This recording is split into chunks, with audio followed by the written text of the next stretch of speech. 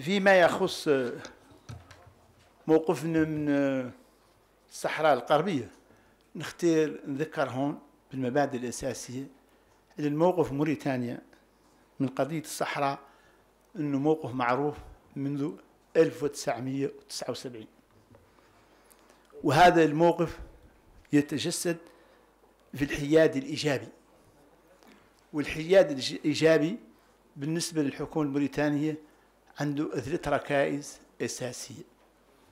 الركيزة الأولى هي أن الحكومة الموريتانية ملتزمة باحترام جميع القرارات الصادرة عن الأمم المتحدة ذات الصلة بهذا الموضوع.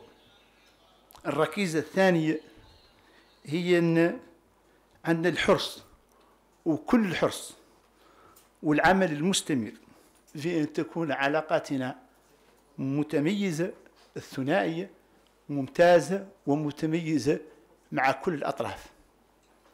والنقطة الثالثة اللي نبني عليها على أن موريتان لها الاستعداد التام وإرادة صادقة لكل ما من شأنه أن يساهم في إيجاد حل سلمي للقضية ويجعلنا جزء من الحل لا جزء من المشكلة.